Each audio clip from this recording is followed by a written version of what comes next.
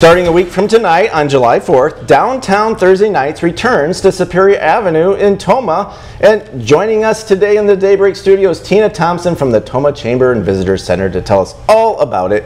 Welcome to Daybreak, Tina. How Thank you doing? you so much, Joe. I appreciate the opportunity. Yeah, so Downtown Thursday Nights, it seems to be getting bigger and bigger every year. So tell us a little bit about it and how long has it been going on, really? So we started this event in 2019, took a little bit of a break, and then um, resumed in 2021 and have been going strong ever since. Yeah. And what's been, ha- has it been building? Has it been getting more and more different vendors It stuff? has been building. We have um, different sponsors and different vendors every year.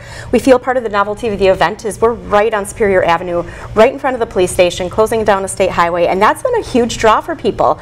Um, they like having their picture taken with the police. Um, the police love interacting with the general public, and the concerts are, it's great music.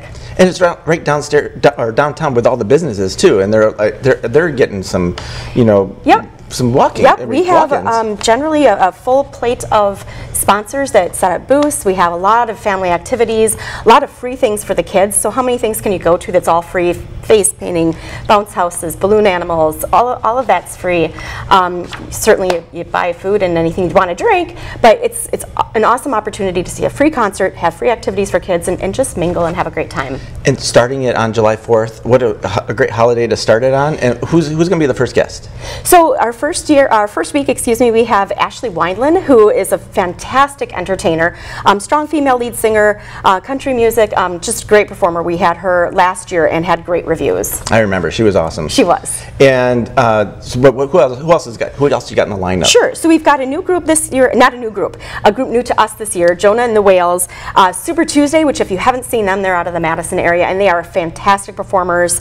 Um, we also have the Dweebs, Rowan Grace, and then we finish off our season with Cherry Pie. Awesome. Yeah, Cherry Pie is the great finale. It is, it and, is. and it's almost every Thursday. We take a break for the. Monroe County Fair. So we'll have three weeks on, take a break for a week, and then three weeks. Okay, and it's 6 to 9 p.m. on those Thursdays, right? It is, yep. Okay, and where can people find out about it? DowntownThursdayNights.com, or you can follow us on Facebook on Downtown Thursday Nights. Well, that's easy. It is. Okay.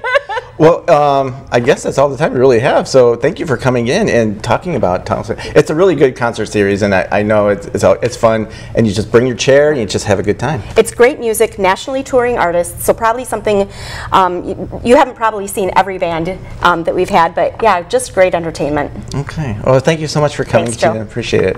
All right, Downtown Thursday Nights. Check it out.